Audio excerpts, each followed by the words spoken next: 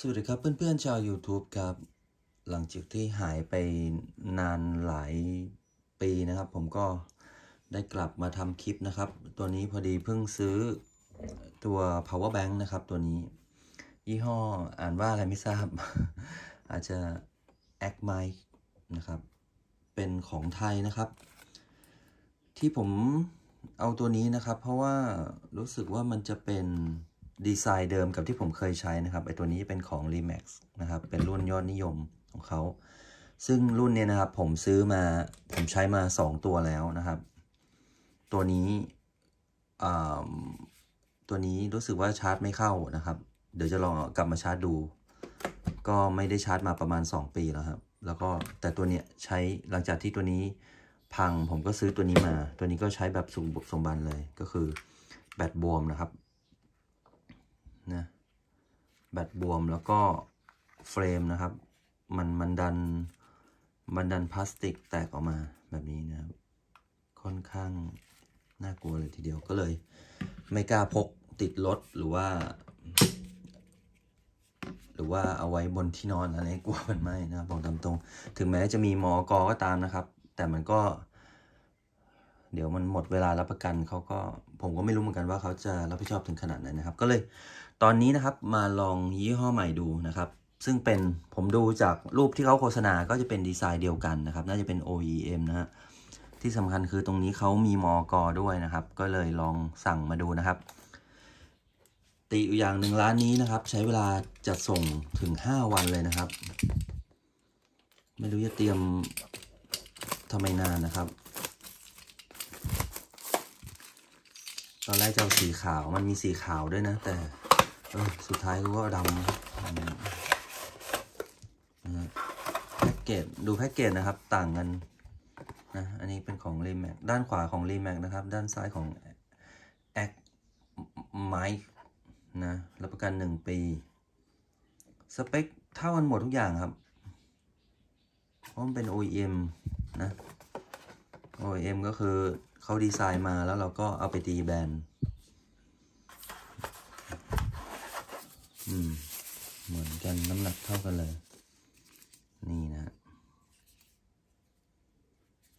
มีแบบไหมแปดสิบอ้าวมีคำว่าเปอร์เซ็นต์ออกมาด้วย อันไอรุ่นนี้ไม่มี เออ เดี๋ยวนะต้องตัวนี้ นี่ ต่างกันตรงนี้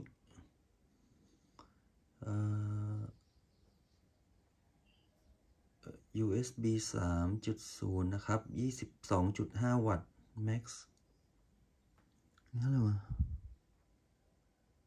สามหนึ่งจุดห้า m max อืมไอตัวนี้ด้านซ้ายตัวนี้เขาไม่ได้บอกว่า max m max สุดเอาเท่าอืม ไม่ได้บอกทำไมบอกเป็นวัตต์นะครับ แต่ในกล่องน่าจะมีบอกนะครับ อันนี้ก็เหมือนกันเลยนะครับ มี มีตัววางมือถือได้ ซึ่งก็ไม่ค่อยได้ใช้นะ เฮ้ย อ่าเสียงนุ่มกว่าเดิมนะครับอขอนี่รู้สึกว่า เดี๋ยวผมเปิดนี้ให้ฟัง นี่นะ ฟังเสียงนะ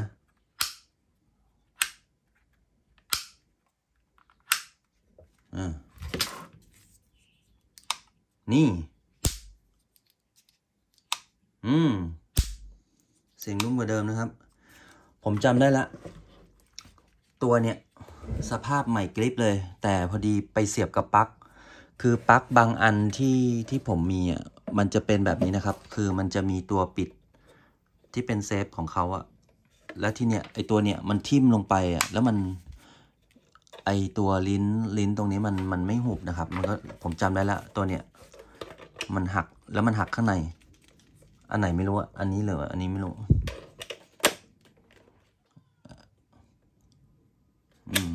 อืมตัวนี้ชาร์จเดี๋ยวเดี๋ยวลองกลับมาชาร์จดูนะครับ เออไอเนี้ยแหละ ได้ยินไหมฮะนะผมลองชาร์จครั้งแรกดูลองเสียบดูดิอืม ก็เสียบได้ปกตินะ เมื่อกี้มันขึ้นร้อยแปดสิบแปดนะครับ เหมือนกับไอตัวนี้เลย ตอนแรกผมนึกว่าส่งไอตัวเนี้ยเออร์เลอร์ที่มันขึ้นเสียบไปปุ๊บแล้วมันจะขึ้นร้อยแปดสิบแปดหรือว่ามันมันเป็นภาษาอังกฤษไม่รู้นะฮะร้อยแปดสิบแปดมัน อ่านเป็นภาษาอื่นได้ไหมนะโอเคนะเดี๋ยว เออไอโฟนก็ใช้ถ่ายอยู่นะครับ ลองอมนี่นะครับ ที่ข้อดีของตรงนี้ก็คือเออเขามีสายมาในตัว นี่ติดเผื่อเราไม่มีสายชัดไหมอ๋อ ไม่ได้เปิด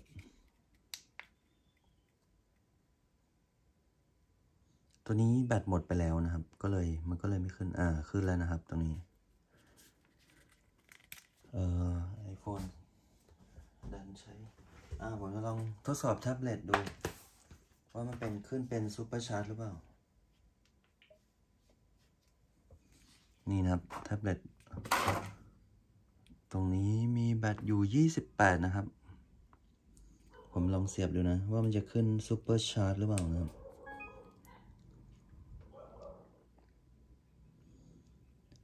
เป็น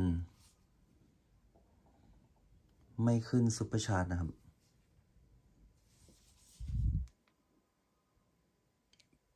เป็น charging เฉยๆนะครับ เฮ้ยเดี๋ยวนะ charging เมื่อกี้มันขึ้นตัวหนังสืออะไรสักอย่าง charging เฉยๆนะครับ ไม่ได้เป็น super super fast charge อะไรทั้งนั้นนะครับ โอเค เอ่อ จะลองกับสายตรงไหนดี ตรงนี้ไม่เป็นซูเปอร์ชาร์จใช่ไหม เดี๋ยวผมจะลองอุ้ยอุ้ยไฟกระพริบ โอ้โห แน่นมาก นะครับ ลองนี้ดูดิ มันจะขึ้นมา ไม่ขึ้นนะครับ ไม่ขึ้น Super Charge นะ อะ ลองเอาเสียบดูดิ เออ มาลองให้หมด นี่นะครับ ลองแบบนี้เลย นี่ชาร์จไปด้วย เสียบไปด้วย เป็นอะแดปเตอร์ในตัวนะครับ ก็ไม่ขึ้น Super Charge นะครับ แต่เขาก็ชาร์จไวอยู่แหละแต่พอดีไอ้ตัวนี้มันเป็นหัวเว่ยนะครับ มันจะเป็น super fast charge นู่นนะกี่วัตต์ไม่รู้นะครับ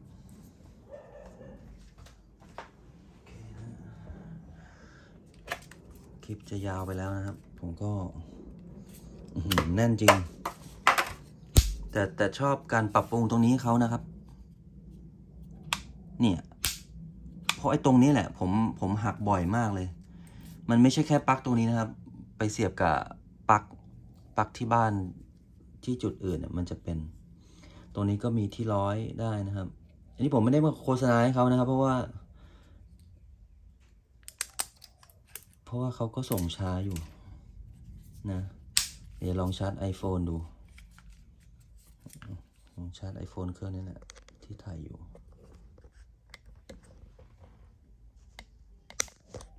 อืมแน่นเลยนะครับ ตอนนี้ ตอนนี้มันเป็นโปรแกรมกล้องนะครับ ผมก็ไม่รู้ ไม่รู้ว่ามันขึ้นหรือเปล่านะแต่น่าจะขึ้น ใช้ได้ครับตรงนี้มีมอกอด้วยนะครับอ๋อนี่ไง ลองอ่านเอาเองนะฮะไทยสีเอาพุทสามแอมสี่แอมอืม ก็เยอะนะฮะเนี่ยเอาพุทสามแอมกับสี่จุดห้าแอมแต่พอดีหัวเว่ยมันไม่ขึ้นซูเปอร์ฟาสชาร์จนะครับ ก็น่าจะ ยังไม่ถึงของมาตรฐานหัวเว่ยเขานะครับ แต่ก็ถ้าไปชาร์จ Android หรือว่า iPhone อะก็เร็วแน่นอนครับตัวนี้ โอเค สรุปคือมันเป็นดีไซน์เดียวกับของ Remax นะครับตัวนี้ก็ลองไปหาซื้อกันดู แต่ผมชอบการปรับปรุงตัวนี้เขานะเห็นไหมตอนพับนี่เสียงเท่ากัน แต่ตอนนี่มันสมูทกว่านะฮะเดี๋ยวลองดูอีกทีว่า